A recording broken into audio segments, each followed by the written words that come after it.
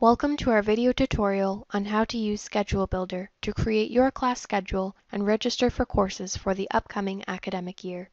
Once you have decided which courses you would like to take, you can use the Visual Schedule Builder to view your class schedule options based on these courses. To access the Schedule Builder, you'll begin on the Trent University homepage. Under the menu in the top left corner, choose Academics and then select Academic Timetable. On the right-hand menu, Visual Schedule Builder will appear. You can now select the Visual Schedule Builder link to access it. You can also access the Schedule Builder through your MyTrent portal by selecting the Register tab and finding Schedule Builder under the Courses subsection. Once you've reached this page, you will want to read the overview provided before continuing on to choose your schedule. Once you've done this, select Continue. You are now ready to begin generating your schedule. Your first step is to choose the term for which you would like to generate a schedule.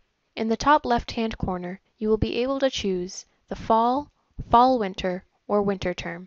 I will select the fall term. Before continuing, you will need to select the location options that apply to you. As you can see, there are many options. You can check off as many of these as you want. However, it's important to make sure you have chosen only the locations that you would like to take courses at. For example, if you do not wish to take any online courses, do not select online as an option.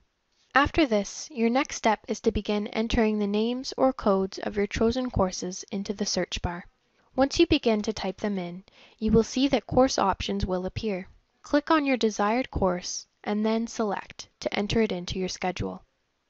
Once you have entered all of the courses you want, you can choose between the different sections of each particular course if more than one is offered by clicking Try All Classes.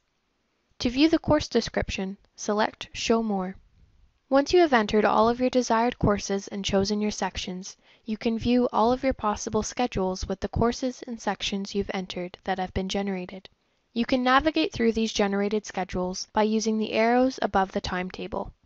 Once you are satisfied with the placement of certain classes, and to narrow down the number of generated schedules, you can pin down courses. To do this, simply click on the block for that course on your timetable, and a red pin will appear. Schedule Builder allows you to add some preferences and filters into your schedule. In the top right-hand corner, you have the options to filter out full classes, online classes, and on-campus classes. Above this, you will find a Sort Preference option. By clicking the drop-down menu, a variety of options will appear that will help you fine-tune your schedule to certain times of day. You are also able to click and drag sections to block off time. However, you should limit your use of this function, saving it to block off times that you will truly be unable to attend classes. Otherwise, you can greatly limit your possible schedules. After you've chosen all of your classes, you need to officially register in them. Please note that it's important to copy and save the course synonyms for your schedule found next to the shopping cart icon, as the Visual Schedule Builder does not save your course selection.